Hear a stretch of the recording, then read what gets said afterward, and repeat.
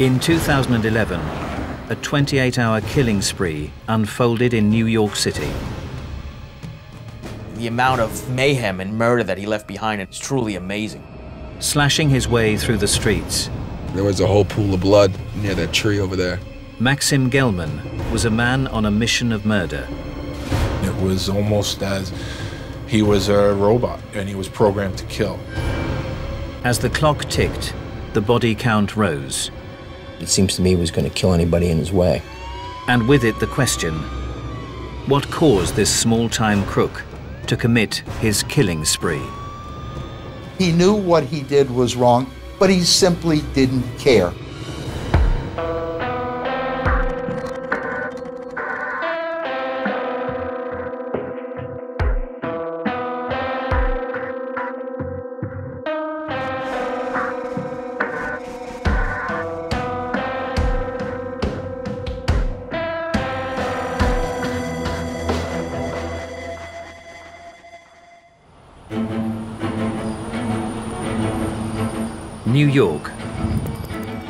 12th of February 2011, 9 a.m. The typical hustle and bustle of the city that never sleeps belied the fact that this was a day unlike any other. A killing spree was underway. There were hundreds of cops and detectives that were assigned to this. We were pulling people from all over the place anybody who was, uh, was working at that point in the Detective Bureau was assigned to this case. Detectives were frantically searching for Maksim Gelman, the man who over the last 28 hours had left four dead and three critically injured in a string of vicious stabbings, random carjackings, and indiscriminate assaults. He was being reckless. He was committing crimes in public. He was driving around at a high rate of speed. Concerns were mounting that the out-of-control killer would soon strike again. Not only are you trying to contain what's, what's happening, but you're trying to find this guy so that he doesn't hurt anybody else. So there is a lot of pressure that's put on the police department in a situation like this. He was, it seems, uh, becoming more and more unhinged and perhaps becoming more and more dangerous at the same time. The hunt for Maksim Gelman sprawled across the length and breadth of the city.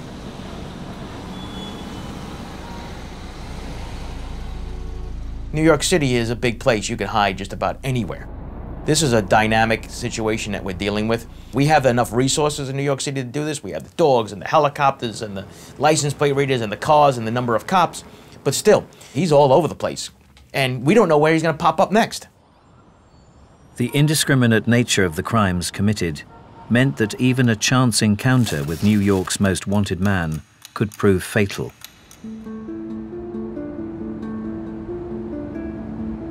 There was a sense of danger because people were realizing their life could be threatened. And it would not be because he hated them or because he had a grudge against them. It was because he was a guy who was out on the streets in public with knives and who was willing, apparently, to attack and maybe even kill anybody who got in his way. That same morning, Joe Lozito, a box office ticket seller from Philadelphia, was taking his daily commute into Manhattan, unaware of the drama that was unfolding. I got up super early. I had to make the commute, and everything that he had done the day before had not yet made it to the Philadelphia papers. So I was going into the city blind. I had no idea. While his day had begun like any other, Joe would make a seemingly innocent decision that would change his life. When I arrived at Penn Station that day, there was construction on the one train on the tracks. So when I got up to the platform, I had to make a decision. Do I stay on this platform or do I go to the other platform? For whatever reason this day, I decided, well, let me go to the other platform. It's double the trains. I'll get to work a lot quicker. A suspected sighting of the spree killer had investigators scouring the subway system. He was known to be in one set of tunnels connected to one subway line in one section of Manhattan. It was at this point that the cordon began tightening. The thing that really uh, sent up a red flag were two police officers got on the train and they went right into the motorman's compartment.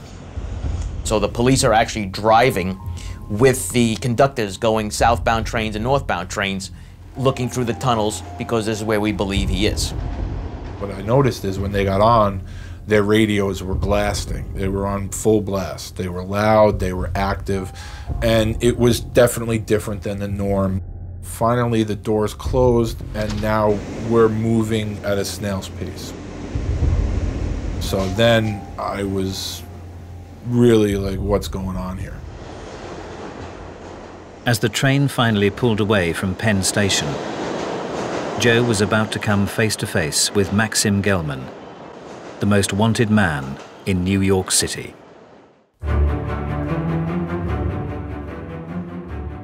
This guy just walks right in front of me and starts banging on the door to the uh, motorman's compartment. And uh, he looked kind of dirty, um, disheveled. And he starts banging on the door and he says, Let me in. And I'm sitting here going, What is going on with this guy? And lo and behold, Max is on the train where the cops are riding with the conductors looking for him. Max turns around and he focuses in on one of the passengers who happened to be probably the biggest guy on the train, this guy Joe Lozito. So the next thing I know, he's about uh, two feet from me, about three feet from the door, looks right down at me. I look up at him, we make eye contact. He uh, takes out this big knife, looks me dead in the eye, and says, You're gonna die.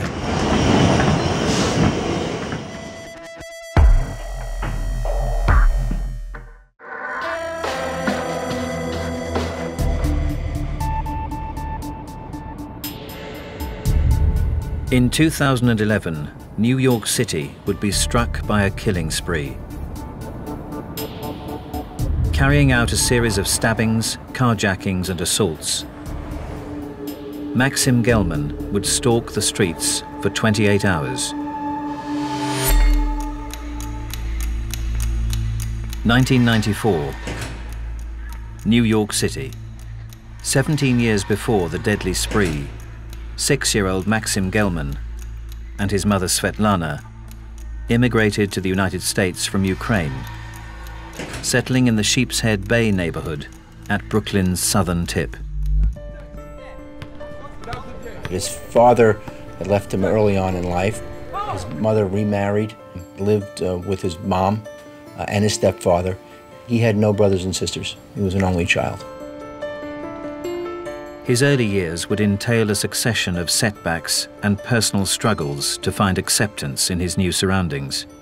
Max, when he was young, he was uh, an outsider. He definitely didn't have a lot of friends, maybe felt shy or wasn't confident enough in himself. I guess that's what kind of made him into a worse person. Gelman's childhood was filled with trouble. His uh, potential for killing was something that developed early and remained with him until he was in his early 20s. Life at home was also turbulent for the young Maksim. Max and his family, he wasn't so great with them. Max uh, expressed some uh, dislike in the way uh, his stepfather treated his mother. He, you know, loved and respected his mother, but his stepfather never respected him. He would always refer to his father as asshole in front of anyone. You know, I don't think that they ever had a normal relationship. It turned out to be a somewhat violent relationship. Gelman's battles with his stepfather were repeated, and the pair's obvious lack of affection for one another would prove an omen for the pointed altercation that was to come. The 11th of February 2011, 5 a.m.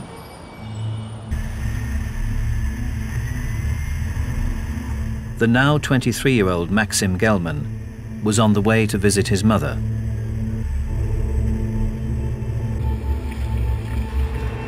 It was to be for the last time.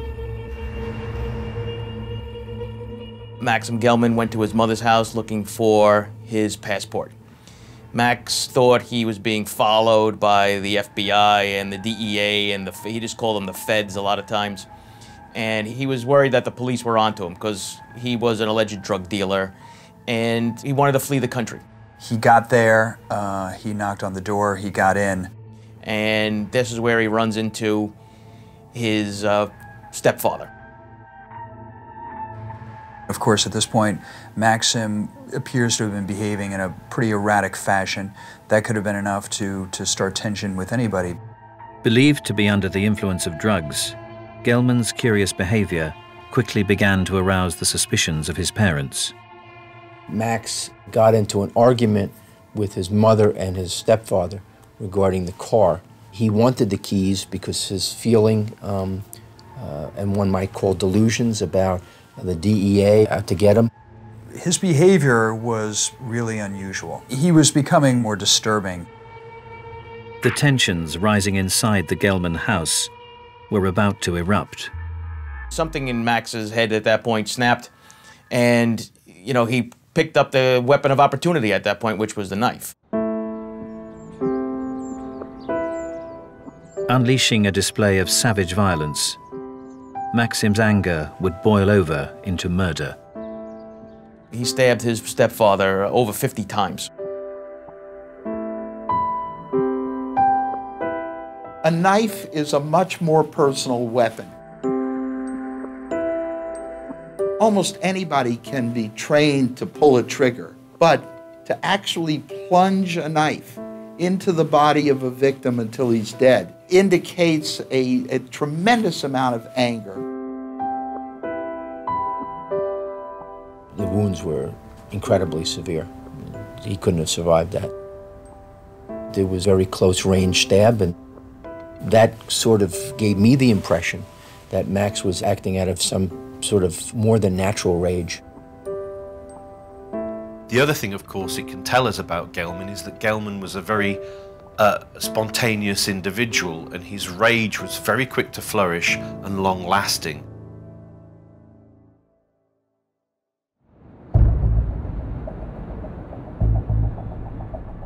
After his mother called 911, NYPD detective Joe Giacalone would begin to coordinate a response to Gelman's crime. At that point, it was just a domestic violence murder. That's, that's the way it was being handled. It was a, a fight between the stepfather and the stepson, and it ended in murder. And that we were looking for this guy, Maksim Gelman. We, we knew his name at this point, but we didn't understand the consequences of what else was happening. With the information available in these early stages, few could have foreseen the frenzy that was to come. With the blood of his stepfather on his hands and authorities heading his way, Gelman fled. So he figures he needs to get out of town at this point, so he takes everything and he leaves. Initially, from what we we know, he was on his way out, and then decided to come back in and figure out now he wants to settle some scores. While detectives began their investigation at the Gelman house, Maksim would head back into the city and towards the home of 20-year-old Yelena Bulchenko. Wait, just make the camera lower so it's not like I'm like being recorded. Yelena was a very pretty girl. She was smart. Uh, she was funny. Uh, very sensitive, very sweet girl. And we already made plans from Valentine's Day. You know, I bought her a heart necklace. Uh, everything was set in place. Yelena and Gerard were no strangers to Maxim Gelman. Me, Yelena, and him had drove, driven to Long Island to visit someone, and things went well. I mean, there was nothing out of the ordinary. We were with each other basically for most of the morning. Gelman, however, seemed to believe that he and Yelena were more than just friends. He really liked her, and she didn't feel that way. His attitude towards relationships with women was one scarred by a sordid early encounter. He never really had a girlfriend, and I think what really tore him from reality is his first sexual experience. He had sex with a girl from the high school, and I think after that, he ended up getting a serious STD. How he told me was that he has lumps and that they weren't able to be even surgically removed. He kind of knew that he wouldn't be able to have a normal life anymore. Him and Yelena would really never be able to be a couple. He fixated on Yelena, an individual who showed him some kindness in passing, and that became so much more meaningful to him because he had nothing else in his life. Although his advances were rejected, Gelman would continue to pursue Yelena. Yelena changed her number because Max kept on, you know, calling her over and over and over again, uh, to the point where she was, you know, she was she didn't want to have that. You know, she didn't want it to be bothered. You know, she was in a relationship with me. She didn't want to, you know, be stalked. I think Yelena's rejection really caused him to kind of become a stalker. He had showed up at her house one time. He was looking for her. He started banging on the door, going crazy, um, saying, you know, I'll kill you if you don't open the door, and all these different types of things. She had really little interest in speaking with him, but his the way he was reacting to her made some people say, in retrospect, that uh, there were warning signs that he could become very dangerous. The 11th of February 2011, 10 a.m., five hours since the spree began. Sheepshead Bay, New York. Located merely a few blocks from the scene of his previous crime, Gelman would arrive at the Bulchenko residence. He drove to Yelena's mother's house and confronted her while she was on the phone. The person that was on the phone was able to overhear the conversation that was going on. And from what the, the caller stated was that you could tell it was an argument right off the bat. Max wanted to know where Yelena was. And Yelena's mom didn't want to give it up. Anna's refusal to divulge the details of her daughter's whereabouts meant she would face the sharp end of Maksim's violent temper. Max grabs the knife. You know, he just puncturing, you know, the mother, like torturing her kind of thing, where he's trying to get information out of her where Yelena is. I think that Max probably knew that he was not going to get away with his crimes and that it would more satisfy him to do what he had to do uh, and, you know, in terms of the consequences, let him, you know, he didn't care. And eventually, I think Max just gets tired of the of the game that he's playing with her, and, and he finally plunges the knife into her and kills her.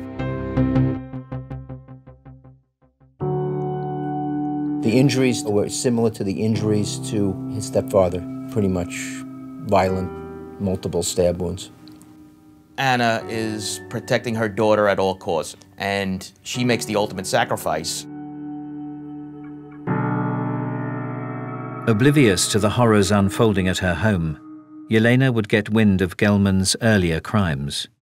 Yelena got a phone call letting her know that, you know, Max had killed his father in the morning.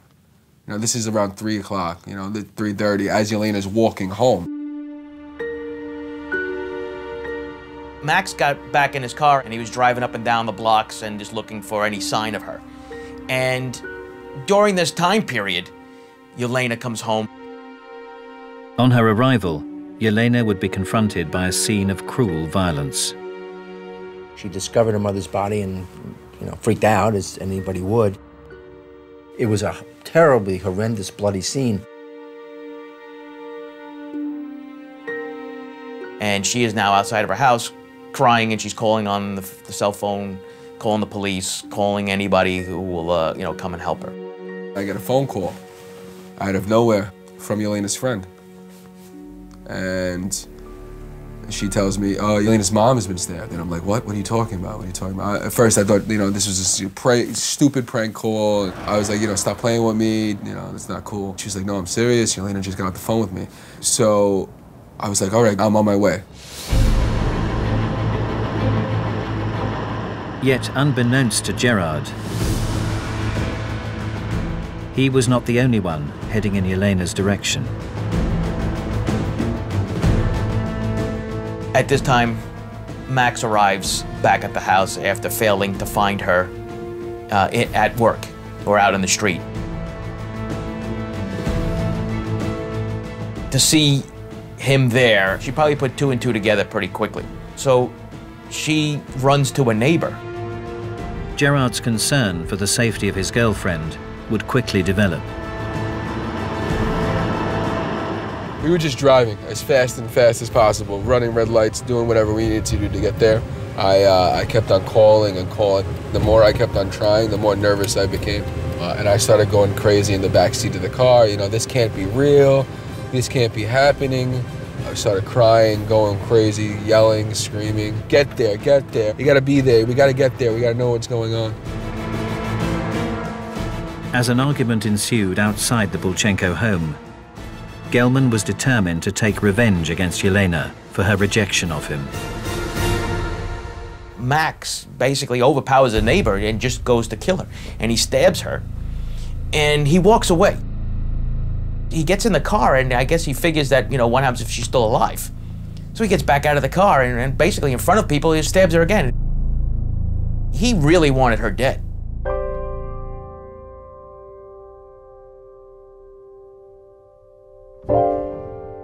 Eleven hours into his spree, Maksim Gelman was now responsible for the death of a third innocent victim.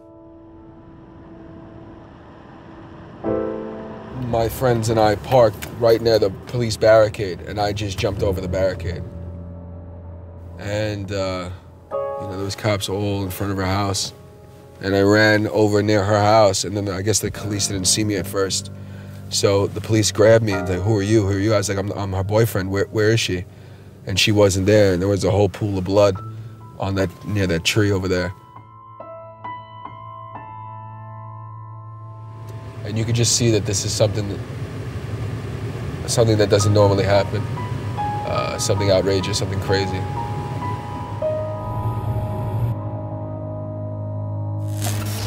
On examining the evidence at their disposal, the reality of the danger they were facing began to dawn on detectives. After this incident, we're starting to, the police are starting to put two and two together. That there is a link between all of these murders. And if we don't stop this guy, he's going to kill more people. There's no question about it. The most dangerous person to deal with in the world is that person who has nothing to lose.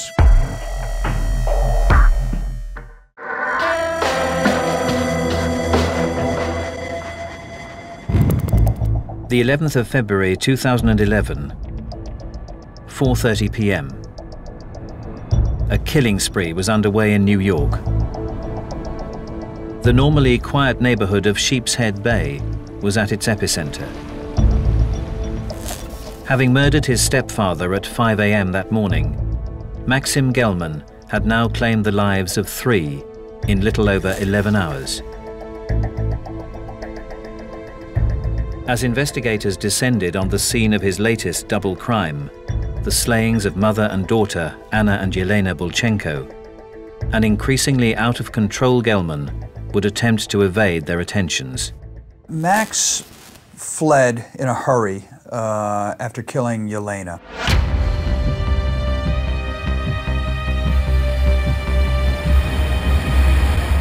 Max just was enraged and uh, determined to kill. In making his getaway, Gelman would again demonstrate his apparent disregard for anyone who might stand in his way. As he's fleeing, he runs over Stephen Tannenbaum, who was uh, an older gentleman. He was actually a coin collector and dealer, and he was in the crosswalk, and, and Max just ran him down. And he was he was pretty much dead at the scene. He just kept on driving, didn't stop, didn't flinch. He just kept on going.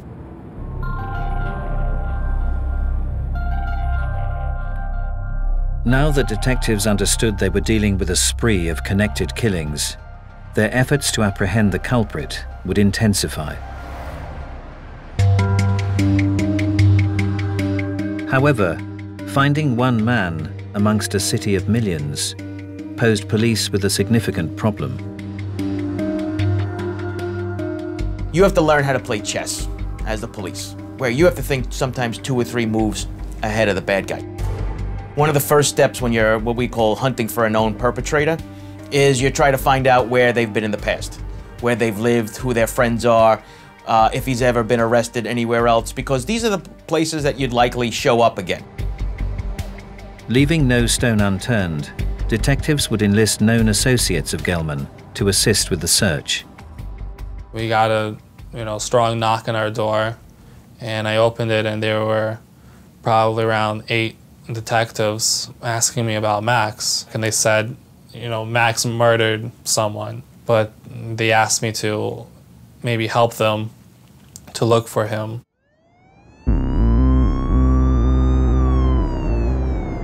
I was uh, basically driving with the police, and it was really insane. I couldn't believe the amount of police that there were outside.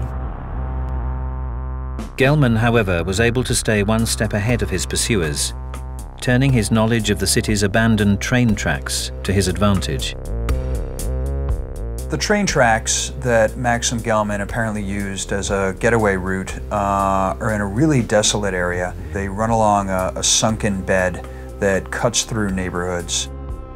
His understanding of this underground network had developed during his years as a graffiti writer. When we would write together, uh, we only wrote like in, uh, in places where it was kind of abandoned, where nobody would be around us. Maksim would use his artistic outlet to express his attitudes on the way he viewed the world. He would write things like, uh, nothing to lose, you know, just these like hopeless kind of quotes. I, I guess he was looking for help, but didn't know how to find it. His reputation as an eccentric would also develop amongst those that moved in the same circles. He would make, uh, you know, voices. If a gangster or what you see on TV, you know, a mobster, when he would start an altercation with somebody, he would talk to him in this voice. And people just thought, like, what's wrong with this guy? He was just, uh, you know, I guess a sick person.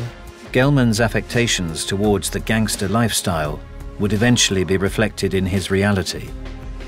From what I know, he was selling, you know, cocaine, he was selling heroin, you know, he was selling pills and all types of different things. He was involved in terms of his drug uh, use with angel dust or PCP. It's a drug that's not common amongst drug users because of the ill effects that it has. It takes over a person's whole mind. It can lead to aggressive, um, violent behavior. Years before the spree began, friends would come face to face with Maksim's violent unpredictability. I'm just walking down the street, and uh, Max sees me in his car, and he pulls over, and he jumps out with a knife, and he definitely wanted to, you know, cause harm to me, and he was, you know, basically jabbing a knife at me. Max was very unpredictable and he was very dangerous. You know, this was somebody who you can't imagine is actually out on the streets. The 12th of February 2011, 1 a.m. Crown Heights, Brooklyn. Five miles away and eight hours on from his last confirmed sighting, Maksim Gelman would begin the second stage of his ever escalating spree. Maksim Gelman had not been seen for several hours, but around 1 a.m., he showed up in Crown Heights, uh, some distance away from Midwood, where the police were looking for him. Max shows back up on, on the grid, and he decides that he needs another car. He needs to still get away. So he comes across uh, a livery cab that's parked on the side of the road. For the driver of the cab, Fitz Fullerton, it would be a fare he would never forget. Maksim got into the back seat. Then, as they were driving along, he attempted to commandeer the cab. He tried to take it over, and the taxi crashed, and Maksim fled. He had stabbed the, the, the driver, and he had left. So, you know, fortunately, he survives. Now Max is still on the hunt for another car, and now he probably realizes once this gets notified to the police that the police are going to have a beat on him where he's showing up next. Gelman, however, was not to be deterred in his quest to commandeer a car. A matter of minutes later, and little more than a mile away from the Fitz-Fullerton scene, he would strike again. He comes across Sheldon Pottinger, who was outside of the church waiting for his family to come out. He jumps into the car, and he takes off in the car. He stabs Sheldon, and he tells him, as he's driving 60, 70 miles an hour, he tells him to get out. And can you imagine being in this position where you've just been stabbed, you're carjacked, and now you're driving 60, 70, 80 miles an hour, wherever it may be, and he tells you your best bet is to jump out of a car to survive. Well, Sheldon jumps out of the car. He miraculously survives. This guy was driving fast. And I pushed myself out of the car, hold the knife, and I open the door, I push myself out, and I fell on the floor. I get up and I start running. I run back down to the church. Gelman would, however, leave behind a clue that would prove crucial in his undoing.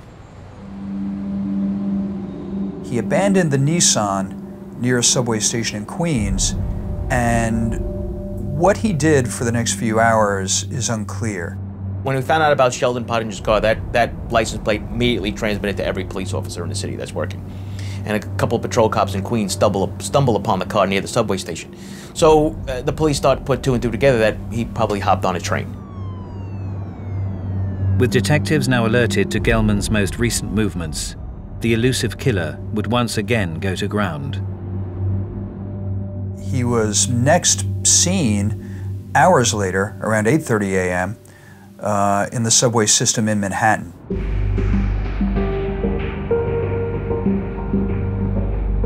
As the spree entered its 28th hour, news of Gelman's exploits had made the front page.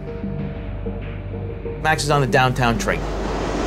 And as he's walking through the cars, he sees his face on the front of one of the newspapers. And he, he pretty much, you know, knocks the paper out of the woman's hand. She became very frightened and upset. She got off the subway.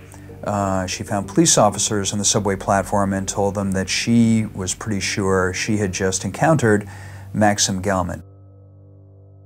The irrationality of Gelman clearly shows that he wasn't acting on thought or cognition. Gelman, of course, is a spontaneous reactor. He's not a planner, he's not a thinker, he's just enjoying the high and living it while he can. With reports regarding Gelman's whereabouts reaching police, the focus of the citywide search would narrow, centering in on the network of tunnels running beneath the streets. There are very few ways to get out of the subway system. In order for him to get out of that subway system now, it would take like an act of Houdini to get out. Gelman, it seemed, had backed himself into a corner. The police set up a checkpoint at Penn Station. Uh, Max's train was coming their way.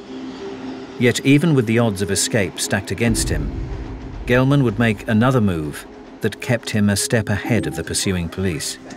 He got off the train and left not via the platform, but jumped onto the subway tracks, crossed several tracks, and then pulled himself into a train going the opposite direction.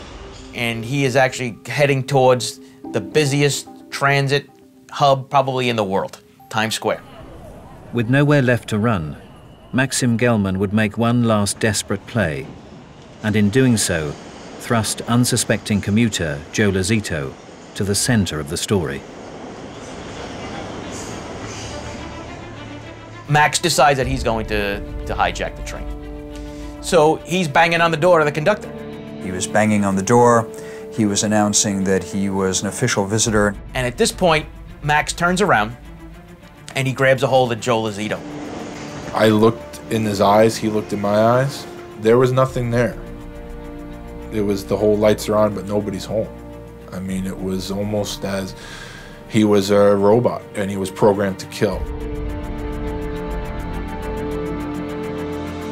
The part where he takes the knife out really happened in slow motion.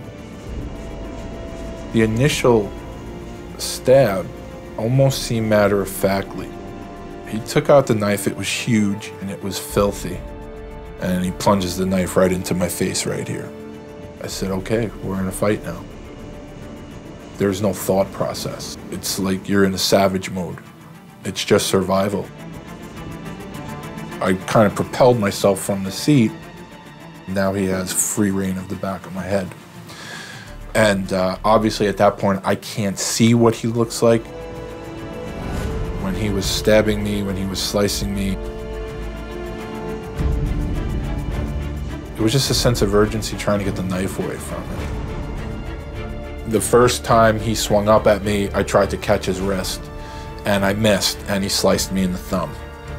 The second time he sliced up at me, I missed again, and he sliced my tricep. Finally, the third time, he sliced his arm up. I caught it with my hand. I slammed his hand down. And the knife came out. That's how I disarmed him.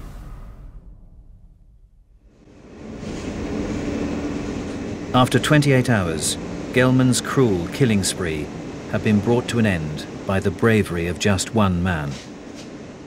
After I disarmed him, that's when the police came out of the motorman's compartment and tapped me on the shoulder and said, You can get up, we got him. Yet despite Joe's heroics, the injuries he had sustained were severe. While this was going on, I am sitting on a subway seat.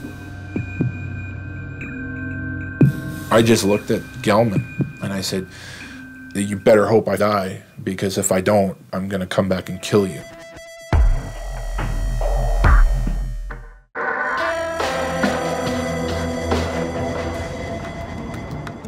In February 2011, New York City was subject to a 28-hour killing spree. Beginning in Brooklyn, Maksim Gelman would take the lives of four and injure four more in a series of stabbings, carjackings and assaults. The spree would finally come to a close in the center of the Manhattan subway system. After passenger Joe Lozito disarmed New York's most wanted man in hand-to-hand combat. About nine o'clock in the morning, the, this, this finally came to a conclusion when the officer was able to handcuff him and get an ambulance, get some help for uh, the passenger that, that had been stabbed. I mean, this, this poor guy was very fortunate to be alive. In the aftermath of the altercation, Joe was now left fighting for survival.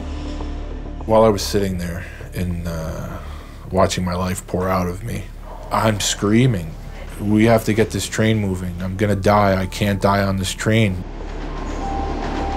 When they lifted me from the seat, I passed out. And when they put me down, I snapped out of it and I was up again. And that that moment, that was the first time I had felt any pain. It was the worst pain I'd ever felt. Joe would soon begin to learn just how lucky he was to be alive.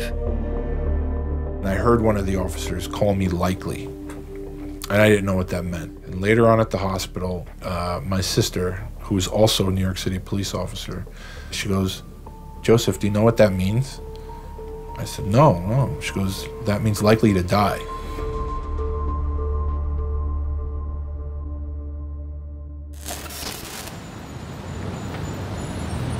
Befitting the events of this unimaginable story, its end would come in one of New York's most iconic locations. Ironically, this all occurs above 42nd Street in Times Square, the crossroads of the world. He's walked out of the subway into the back of a police car in front of thousands of people watching what's going on. When the word goes out that he was he was finally under police control, I mean everybody it was just a sigh of relief. I remember sitting in the office and going, you know, you know, whew, I thank God that's over. Without the actions of Joe Lozito that morning, the number of victims claimed by Gelman could have been far higher. I've been called a hero, and, and I'm so appreciative for it, but that's not me. Uh, I'm not. I'm not a hero. I, I just I did what had to be done that day. In court, Gelman would show little contrition. Instead, he would glory in the notoriety he had gained. I would call his sentence a performance rather than a sentence. His actions in, in Brooklyn court that day were like every other thing he's ever done. They're deplorable. He kept on looking over to me, smiling, you know, saying stupid things under his breath towards me, looking at me. I had to take measures to stop him from talking, and, um, but he always wanted to get it out. I, I, don't know if he was trying to create that gangster persona because he knew that he was going to spend the rest of his life in jail. However, despite his despicable behavior, the victims of his crimes would be given a chance to have the last word. I tried my best, you know, to, to keep my cool, but he kept on looking at me. And he kept on giving me a smirk and laughing or smiling. And that's what got me. I mean, in my mind, I was thinking, you know, can I, can I kill him in the courtroom? So this is like looking in the face of evil. And I told him, I was like, you're gonna, you're gonna burn in hell. I played out the scenario in my head about a thousand times. I visualized what I wanted to say to him. It was a little nerve wracking, to be honest, but I looked at Max and I told him I had waited over a year to look into those eyes again. I told him that, uh, you know, I hoped he enjoyed life in prison and that he had hell to look forward to. Maksim Gelman would plead guilty to each of his 13 charges, including the murders of his stepfather, Alexander Kuznetsov, Anna and Yelena Bulchenko, and Stephen Tannenbaum. He would be sentenced to a total of 225 years behind bars. With the facts of this entirely unprecedented case established, a crucial question still burned brightly. What could have caused Maksim Gelman to conduct his killing spree? Was his plan that day to do all these things or was it just he snapped and uh, and went off on the deep end because of the father in the morning? You know, we'll never know. At best, he had some form of paranoid element to his personality, where his ways of interpreting the world and understanding what the world means is seriously disordered. The only motivation I could think that Max would try to do this is, be, you know, he had a long history of drug use. Maybe the drugs, you know, affected his brain in, in, in a certain way and just made him snap. While there was never a determination that Max was legally insane, he was certainly exhibit, exhibiting evidence of psychosis and, and, sociopathic and psychopathic behavior. So the, that's the place they're in. Um, they're in a different place than a normal human being. Upbringing probably has a lot to do with it. But there are productive members of society who had terrible upbringings and they were able to overcome it. You know, we know that he was not suffering from some severe mental illness. He knew what he did was wrong, but he simply didn't care. He chose to do it, and he was able to kill with moral impunity. I think Gelman could represent a new, different type of spree killer that, that we haven't really seen much of before. He's an incidental spree killer. He's trying to escape, he's desperate to get away, and he will kill people if he has to. There is little doubt that the lives of those who lost loved ones will never be the same again. Elena was a beautiful girl, smart, had an enormous future in front of her that was taken, you know. Her brother lost a sister, her brother lost a mother, her father lost everybody. He's in the house alone now. Um, and I just hope that Maksim is suffering. I sit here before you today knowing how lucky I am because I have no business being here. I should be dead. I should have been his fifth victim. For Gerard, of all the difficult questions posed by the events of that day, the hardest one to ask is what if? I drive around this neighborhood a lot and I never come up the block. Um, it just brings me back to that day. It feels like it was yesterday, you know? You keep on thinking in your head, if I was here, or if I, was, I didn't go to work that day, or if I uh, was here 20 minutes, 30 minutes earlier, could I have stopped him?